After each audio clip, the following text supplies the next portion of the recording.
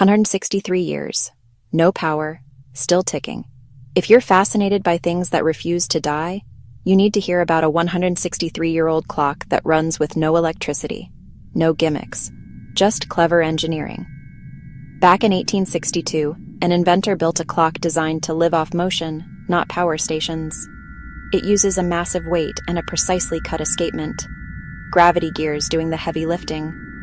Once wound, the weight slowly drops, releasing energy that keeps the pendulum swinging.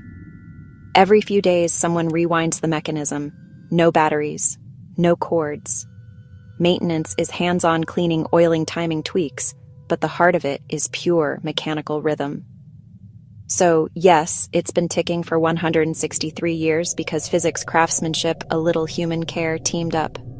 Want to see where it lives and how it's rewound? Hit follow and I'll show you inside next tick.